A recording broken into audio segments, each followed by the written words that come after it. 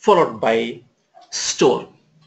Store is another important directory which comes along with the installation. These are the configuration supporting files which needs to be mandatorily present on the Datapower appliance so that it helps us to do the configuration of the services.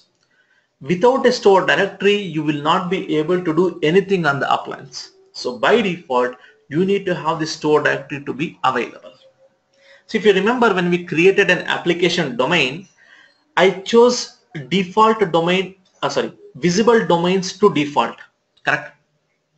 So if I don't select visible domains equal to default over there, in my newly created application domain, the store directory will not be available.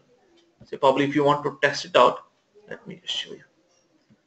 So if I go to the default domain where I created this domain,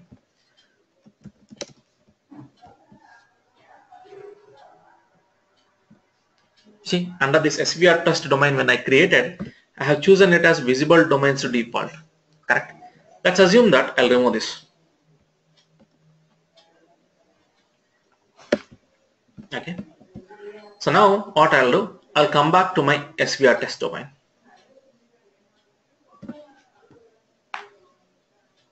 And I'll go to my file management. Can you see that store directory?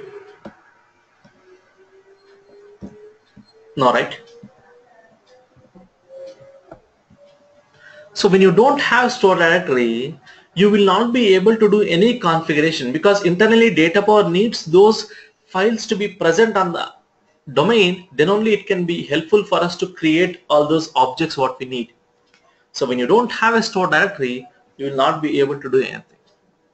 And hence when we create an application domain, we choose that visible domains to default. Clear?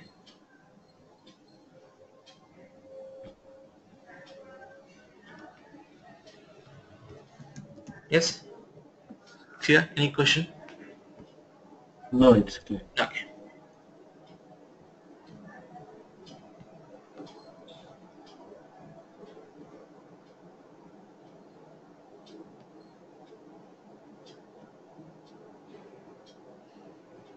So we go back to SVR test. So that is a store directory followed by temporary. Temporary is a directory